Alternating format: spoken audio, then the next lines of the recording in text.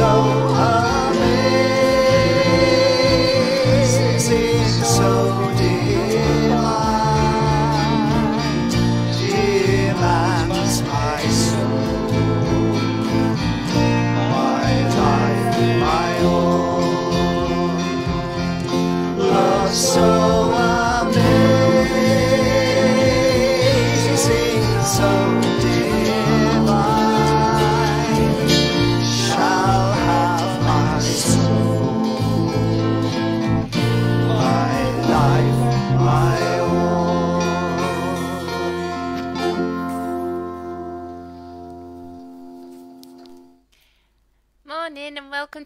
Prayers.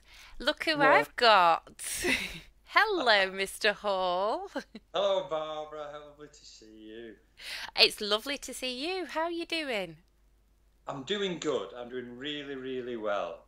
And I hope all you people out there are as well. And it's lovely to be part of all this again. Oh, yes. See, you can never get away from doing something for church. No, no, can't get away from you mostly, Barbara. no, it's really good to have you with us. Thank and you. yeah, and everyone else for joining us this morning um, on Tuesday, the 18th. We're, we're past halfway through August already. Gosh. I know, I know.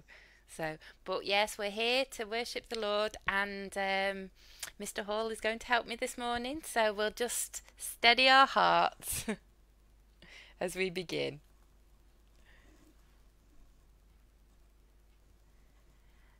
And we say, O Lord, open our lips. And our mouth shall proclaim your praise. Bless the Lord, O my soul, and all that is within me, bless his holy name. Bless the Lord, O my soul, and forget not all his benefits, who forgives all your sins and heals all your infirmities, who redeems your life from the pit and crowns you with faithful love and compassion, who satisfies you with good things, so that your youth is renewed like an eagle's. The Lord executes righteousness and judgment for all who are oppressed. He made his ways known to Moses and his works to the children of Israel. The Lord has established his throne in heaven, and his kingdom has dominion over all. Bless the Lord, you angels of his, you mighty ones who do his bidding and hearken to the voice of his word. Bless the Lord, all you his hosts, you ministers of his who do his will. Bless the Lord, all, all you works of his, in all places of his dominion. Bless the Lord, O my soul. Glory to the Father, and to the Son, and to the Holy Spirit as it was in the beginning, is now, and shall be forever. Amen. Amen. The night has passed and the day lies open before us, so let us pray with one heart and mind. As we rejoice in the gift of this new day, so may the light of your presence, O God, set our hearts on fire with love for you now and forever. Amen. Amen. Amen. And we've just got one psalm today, Psalm 73. So we're going to read it antiphonally. Mr. Hall, is that okay? Uh, yes, whatever that means. Yes. we take it in turns. Take turns. yeah. So Psalm 73. In the Lord God have I made my refuge. Truly, God is loving to Israel, to those who are pure in heart. Nevertheless, my feet were almost gone, my steps had well nigh slipped. For I was envious of the proud, I saw the wicked in such prosperity. But they suffer no pains, and their bodies are sleek and sound. They come to no misfortune like other folk, nor are they plagued as others are. Therefore, pride is their necklace, them like a cloak. Their iniquity comes from within, their con- the conceit of their heart overflow. They scoff and speak only of evil. They talk of oppression from on high. They set their mouth against the heavens, and their tongue ranges round the earth. And so the people turn to them, and find in them no fault. They say, How should God know? Is there knowledge in the Most High? Behold, these are the wicked. Ever at ease they increase their wealth. Is it in vain that I cleansed my heart and washed my hands in innocence? All day long have I been stricken and chastened every morning. If I had said, I will speak as they do, I should have betrayed the generation of your children. Then thought I to understand this, but it's too hard for me.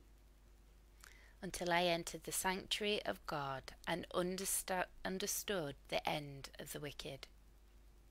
How you set them in slippery places, you cast them down to destruction. How suddenly do they come to destruction, perish, and come to a fearful end. As with a dream when one awakes, so, Lord, when you arise, you will despise their image. When my heart became embittered and I was pierced to the quick. I was but foolish and ignorant. I was like a brute beast in your presence.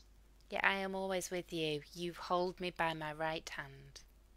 You will guide me with your counsel, and afterwards receive me with glory. Whom have I in heaven but you? And there is nothing upon earth that I desire in comparison with you. Though my flesh and my heart fail me, God is the strength of my heart and my portion forever. Truly, those who forsake you will perish. You will put to silence the faithless who betray you. But it is good for me to draw near to God. In the Lord God I have made my refuge, that I may tell of all your works. In the Lord God have I made my refuge. Holy God, may we find wisdom in your presence and set our hope not on uncertain riches, but on the love that holds us to the end, in Jesus Christ our Lord.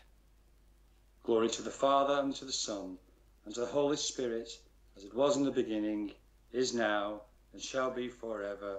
Amen. Amen. And we're going to skip to the Canticle, a song of peace. I'm just skipping. Well, if Spirit of God, teach us your ways, that we may walk in the paths of peace. Come, let us go up to the mountain of God, to the house of the God of Jacob. That God may teach us his ways, and that we may walk in his paths. For the law shall go out from Zion, and the word of the Lord from Jerusalem. God shall judge between the nations, and shall mediate for many peoples. They shall beat their swords into plowshares, and their spears into pruning hooks. Nation shall not lift up sword against nation, neither shall they learn war any more. O people of God, come, let us walk in the light of the Lord. Glory to the Father, and to the Son, and to the Holy Spirit, as it was in the beginning, is now, and shall be forever. Amen. Amen. Spirit of God, teach us your ways, that we may walk in the paths of peace. And our scripture reading is from Acts chapter 4, verses 1 to 12. While Peter and John were speaking to the people, the priests, the captains of the temple, and the Sadducees came to them, much annoyed because they were teaching the people and proclaiming that in Jesus there is, a, there is the resurrection of the dead. So they arrested them and put them in custody until the next day, for it was already evening. But many of those who heard the word believed, and they numbered about 5,000. The next day, their rulers, elders, and scribes assembled in Jerusalem with Annas the high priest, Caiaphas, John, and Alexander, and all who were of the high priestly family. When they had made the prisoners stand in their midst, they inquired, By what power or by what, by what name did you do this? Then Peter, filled with the Holy Spirit, said to them, Rulers of the people and elders, if we are questioned today because of a good deed done to someone who was sick and are asked how this man has been healed, let it be known to all of you and to all the people of Israel that this man is standing before you in good health by the name of Jesus Christ of Nazareth, whom you crucified, whom God raised from the dead. This Jesus is the stone that was rejected by you, the builders. It has become the cornerstone. There is no salvation in one else, for there is no other name under heaven given among mortals by which we must be saved. This is the word of the Lord. Thanks be to God. Shall we pray? Heavenly Father, we just thank you for your word and we pray that you speak to us anew today. Come to us afresh. In Jesus' name we pray. Amen. So, who do we fix our hope upon? That is the question we're going to explore today. So, a bit of context for our scripture reading. Peter and John, they've been going to the temple to pray in the afternoon, and a man who had been lame since birth was outside the temple gate, which we're told is called Beautiful, begging as he had done every day. Now, if we skip ahead in the text, Acts 4:22, it tells us this man was over 40 years old, and he had been lame since birth. So he'd had to beg for many years. And he was having to rely on the help of others to help him, to get him to the gate every day, to feel generous enough to give him money to live. Imagine living that life. And when he asked the disciples for money, Peter looked straight at him. And he told him to look at him and said, I can't give you silver or gold, but what I do have, I give you. So Peter's trying to say, I can't give you what you want, but I sure can give you what you need. And the man was miraculously healed by the Holy Spirit in the name of Jesus. The man wanted to be given money to be able to eat, but Peter said, I've got something better for you. And he gave him back his legs so he could earn money. He gave him back what he needed his life. And the first thing the man did was to walk and jump into the temple praising God. He knew it was by the grace of God he had been healed. So he made sure it was God who he thanked. Before, all he could do was sit outside the temple helpless, without hope. And the disciples had been given the authority to heal in the power of the Holy Spirit, not by their own power, and the goal was always to bring faith. And now this man had just that. He had something to fix his hope upon. You see, the man was helpless without God, and I too want to be in a place where God is indispensable to me. I want to live a life that is in line with my prayers. That God would put me in a state where He has to help me, or I will become immobile, helpless, and ineffective like the lame man. Because I want to see God working in my life, to know that everything comes from Him to see Him show up in miraculous ways. And that's a dangerous prayer to pray. But I don't want my attitude towards God to be one where I think I can get along without Him. Because I know that that way I really won't be living. Now, the Jews, they knew they were descendants of Abraham. They were physically descended from him, but they weren't spiritually. They did not share Abraham's traits of humility, obedience, faith, and love. And this is what we need to have in order to share it with others. So remember when Jesus warned his disciples, if they persecute me, they will persecute you. Well, our scripture today shows a continuation and an extension of the persecution Jesus suffered. And it would be wrong to say that the Christian life is an easy one. That we too won't experience difficulties and struggles. Never more than our Lord had to bear, but some will experience tougher situations than others. But know where our hope ultimately lies. The Jewish leaders were really annoyed because the disciples were proclaiming in Jesus the resurrection of the dead. Now, the Sadducees didn't believe in the resurrection of the dead, but these were the leaders of the people. They were meant to be teaching and guiding under their authority. And yet, here they were trying to stifle the disciples because they feared they would undermine their own power and authority. Yet we see all this was in vain. We know that by the healing of just one man, 5,000 were brought to faith despite such fierce opposition by their leaders. Now, do you remember being in school in a lesson where you had to be really quiet? And then you'd have this one friend that would make you laugh. And it probably wasn't even funny, but no matter how you tried to stifle that laugh, it just got more intense. And the more you tried to hold it in, the more you couldn't. And so you'd struggle to breathe and your body would start shaking until you couldn't contain it any longer. That reminds me of the faith being shared by the disciples. The Jewish leaders tried to quash it, to silence it, to stop it in its tracks, but they couldn't. People were believing in their thousands and it couldn't be stopped. So we're given a list of the people who were there at the meeting of the Jewish council as they questioned Peter and John. And basically, we can recognize that these were people who had been against Jesus when he was condemned. And they ask, By what power or in what name have you done this? Under whose authority are you doing this? Can you see how much Peter has changed? When he was asked at Jesus' arrest if he knew him, he denied knowing him vehemently three times.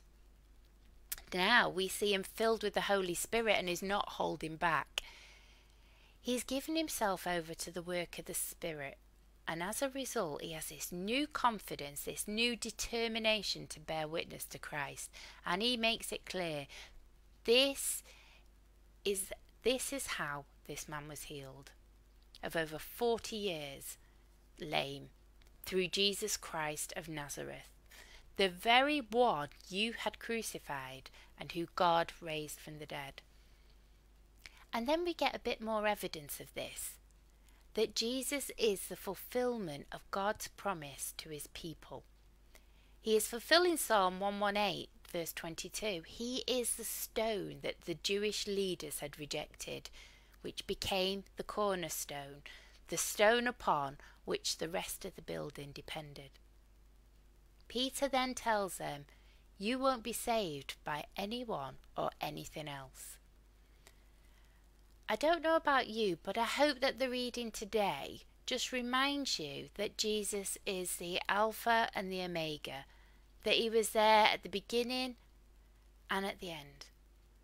That no matter what happens in life, he is more than able. Despite how our leaders might behave and the decisions they might make, particularly those unscrupulous ones who might not care about the truth but in only preserving their own authority. Despite what our situations are like, if it seems hopeless like the lame man's had for many, many years, despite how we've messed up and let Jesus down, like Peter did when he denied him. Remember, there is still hope, and Jesus is that hope, the one that we should build our lives upon and fix our eyes upon. Let us pray. Heavenly Father, we thank you for your word and we pray that we take comfort from it today. Or for when situations are difficult or look bleak, that we have something to ground ourselves upon, to fix ourselves firmly on the hope that you bring. In Jesus' name, Amen. Amen. Now, Mr. Hall, could I just ask you a question? You can. Now, you, you've been through a tricky time lately. How did you fix your hope on Oh, Jesus? Entirely on God. Uh, I mean, I mean I, I spent hours and hours uh, just after surgery in a bed uh, where, where people were literally dying around me. You know, it, it was very disturbing. Uh, and all I did was talk to God and pray and pray for guidance, leadership, and strength, and to talk to some of the people, particularly the nurses, around me about God and how I was coping. Because, because, and I'm not blowing my own trumpet here, they, they commented on how strong I was being, and that I was getting up out of bed and walking and yeah, yeah, and, and going down. I w- went down to the chapel every day, which was a long walk for someone who just had the bowel removed or a big chunk of it. Uh, and so, so I, I my, my whole focus was on God, and, I, and, and in fact, throughout going back for chemotherapy, which, was difficult, um, particularly when the coronavirus happened, and the great threat of me with no immune system catching it uh, I, I, was so frightened I would shake. And I never shake except when United are losing. Uh, I've done a lot of shaking this week, and uh, and that, and I would go in and I would pray, and suddenly that that peace came. It literally fell over me, and I would, sometimes I would wonder how it had happened, because seconds before I was literally just wanted to run home. Uh, and I, we could we could go on a long time about this, Barbara, because it's been nine months, and uh, we're, we're, we're, my life has been entirely reliant on God, and so has Joanne. You know, my wife. Do you like that, by the way, Barbara? Wife. I know it's so exciting, isn't it? It is. My wife Joanne, uh, who who who has you know has also, as people from church know now, um, they, they've been praying and and putting her life in God's hands. So yeah, God has carried me through this, yeah. and and hence that that that, that reading was so very very powerful to me because I've been lifted and lifted and brought through. Yeah. What an incredible witness that is. So thank you for sharing that with us. I know I kept I put you on the spot a bit there, but that's brilliant. So if we return back to our liturgy. Okay, open open my eyes. Open my eyes, O Lord, that I may see the wonders of your law. Open my eyes, O Lord, that I may see the wonders of your law. Lead me in the path of your commandments. That I may see the wonders of your law. Glory to the Father, and to the Son, and to the Holy Spirit. Open my eyes, O Lord, that I may see the wonders of your law. That I'm going to read the bold bit now, so you can read the canticle, if that's oh. okay. Oh, we've swapped roles, haven't we? Yes. There we go. I like that. In your tender compassion, O God, the dawn from on high shall break upon us. Blessed be the Lord, the God of Israel, who has come to his people and set them free. He has raised up for us a mighty Saviour, born of the house of his servant David. Through his holy prophets, God promised of old to save us from our enemies, from the hands of all that hate us, to show mercy to our ancestors, and to remember his holy covenant. This was the oath God swore to our father Abraham to set us free from the hands of our enemies, free to worship him without fear, holy and righteous in his sight all the days of our life. And you, child, shall be called the prophet of the Most High, for you will go before the Lord to prepare his way, to give his people knowledge of salvation by the forgiveness of all their sins. In the tender compassion of our God, the dawn from on high shall break upon us, to shine on those who dwell in darkness and the shadow of death, and to guide our feet into the way of peace. And we say together, Glory, Glory to the Father, Father, and to the And Son, to the Son, and, to, the, Holy Spirit, as as it, it was in the beginning, is, is now, and and shall, shall be be forever. forever. Amen. Amen. In your tender compassion, O God, the dawn from on high shall break upon us. Let us pray.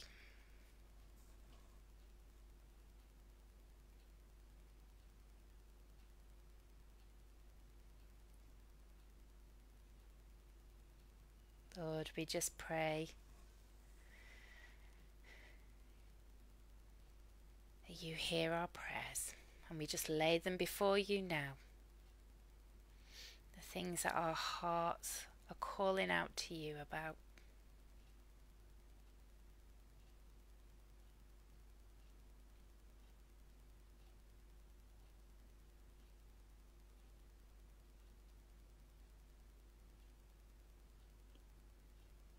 Today we give you thanks and praise, Lord, for answered prayers. We sometimes forget of how you've worked mightily in our lives. We forget to look back and stand on those times where you've sustained us. And Nic, we thank you, has reminded us today how you sustained him. And we give you thanks and praise. And we remember all the times you've been there to help us. Times we may not have known it, times we have.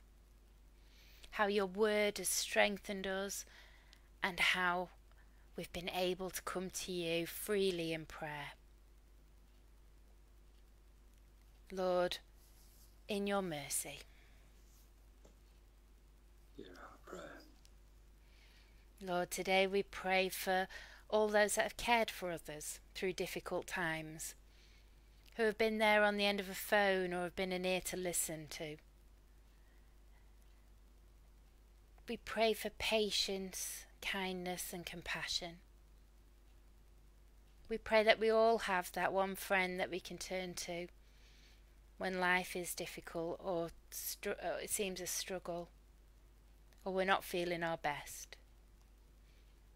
We know, Lord, that you are always there for us every single moment of the day, and we can always turn to you in prayer, and for that we give you thanks. We pray for the nursing profession today, for doctors, for scientists, for carers, and for all those that work in and around our hospitals and um, care institutions.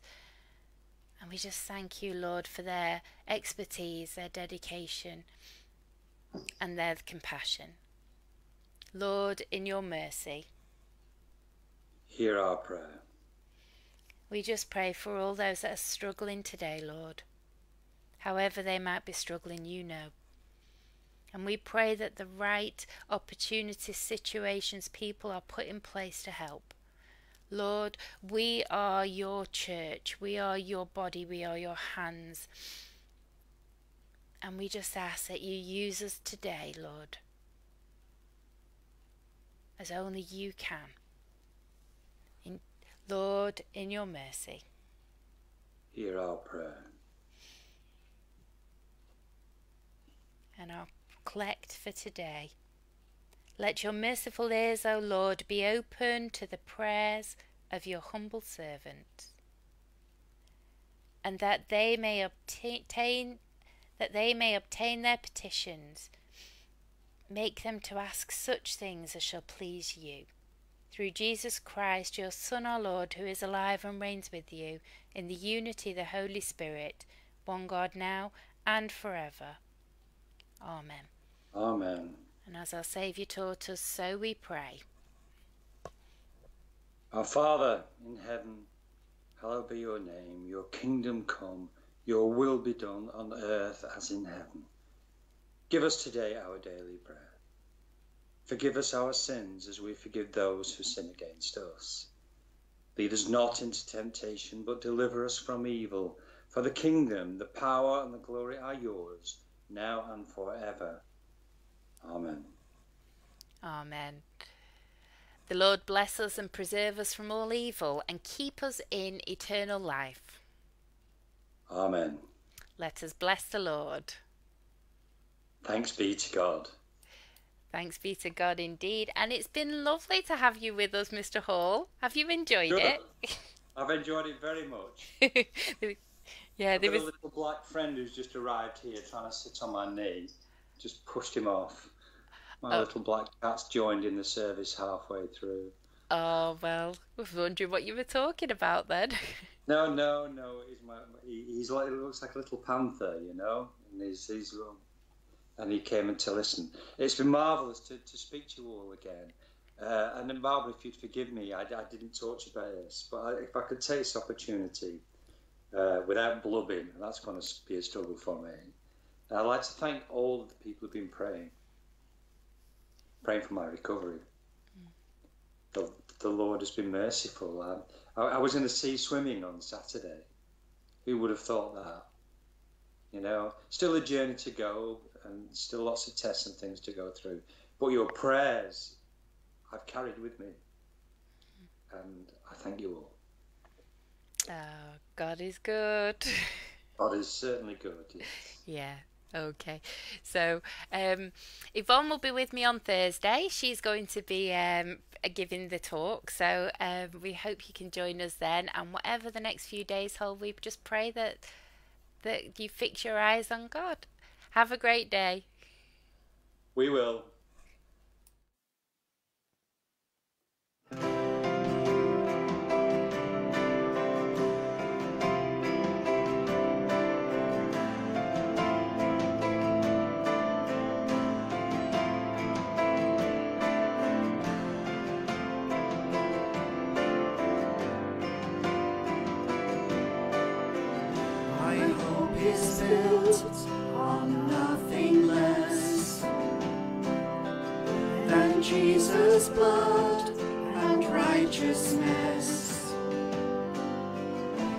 I dare not trust the sweetest frame,